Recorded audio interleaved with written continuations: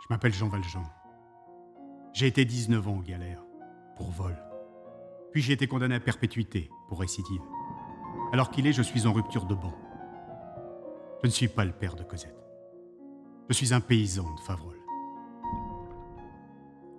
Que suis-je pour Cosette? Un passant. Il y a dix ans, je ne savais pas qu'elle existait.